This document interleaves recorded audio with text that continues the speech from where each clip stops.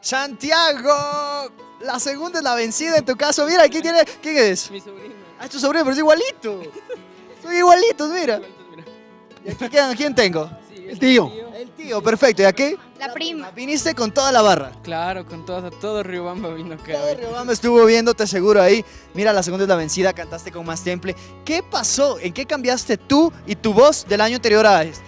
Bueno, pues en realidad me preparé mucho. eh, ahora sí lo sentí. Eh, di todo de mí, pues entregué mi corazón a la canción y creo que eso fue la magia para que salga como salió, ¿no?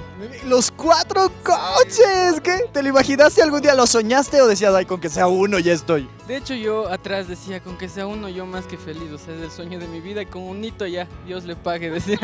Y ahora que se quedaron los cuatro, ¿cómo fue la decisión? ¿En qué pensabas? Locura, no tenían que pensar, te prometo que decía, ¿y ahora qué hago? Si esto, lo otro, pero no sé, fue algo que me dijo que tenía que irme con el Team Montana y pues ya me Porque tienes... tienes un reggaetonero por dentro que aún no ha sido explorado.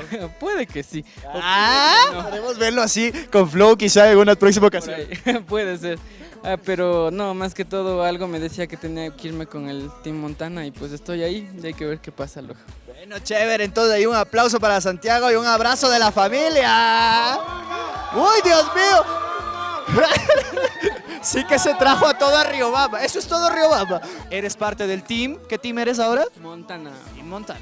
Marco Guadalupe, La Voz Ecuador. Si quieres ver la audición completa de este participante, ingresa al canal de YouTube de La Voz Ecuador.